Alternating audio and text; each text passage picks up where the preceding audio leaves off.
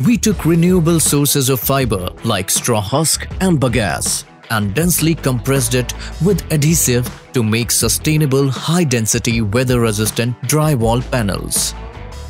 The bio panels are moisture, fire and termite proof, provide effective acoustic insulation and are of E1 emission standard grade.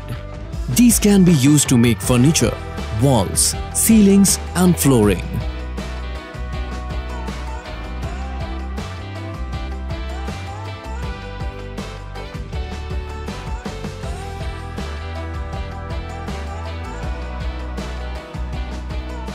Our biopanels are a superior alternative to conventional carbon-intensive products used by the industry. Our modern design is superior, durable and energy efficient.